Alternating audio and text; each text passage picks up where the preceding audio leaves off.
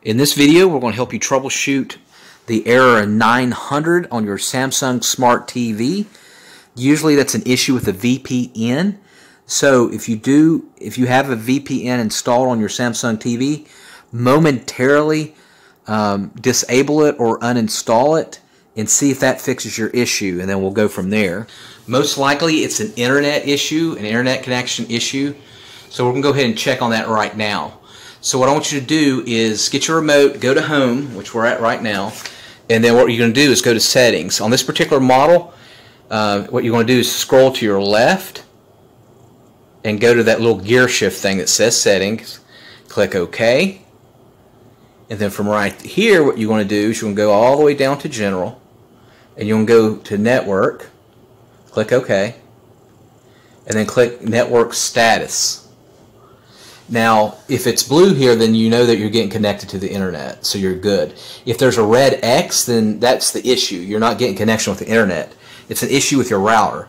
So what I want you to do to troubleshoot shoot your router is try another device on your internet, whether that be another TV, Xbox, um, a laptop, and if you're not able to get connected, then you know it's not your TV, it's your router. So what I want you to do is unplug the router for 10 minutes, plug it back in, and then tell me if you're still getting that error. Okay, if you are still getting that error, let's go ahead and back up again. And you'd want to contact your service provider if if it is if it's not your TV, contact your service your internet service provider and say, "Hey, is there an outage everywhere else?" So what you're going to do here is go back to network and what we're going to do is reset the network restore the network settings to the factory default. Now what that's doing, it's removing your password and you're going to have to find your network again, your Wi-Fi network, and then plug it back in and you have to re-enter your password. So make sure you have your password uh, memorized. That way, um, that way you can go back in there. Okay, try that and tell me if that works. Now if you've done that, what I want you to do is back all the way out. I want you to go to support down here. And then when you go to support, I want you to do a software update. And I understand you might not be able to do that if you're not connected to the internet, but if you are interconnect, inter, con, connected to the internet, do a software update. Okay, now after you've tried that, uh, the, the last solution would be to reset your network in general.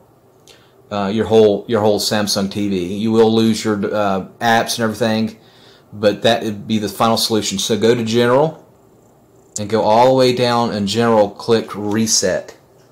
All the settings will return to factory defaults. And do that at the very last thing. And then after that that should fix your problem. Um, if not if you're using Wi-Fi try to connect your router to your TV without using Wi-Fi. Try to use it through the ethernet directly to the TV if you do it directly to the TV, then you know it's not your TV if it's the TV's working.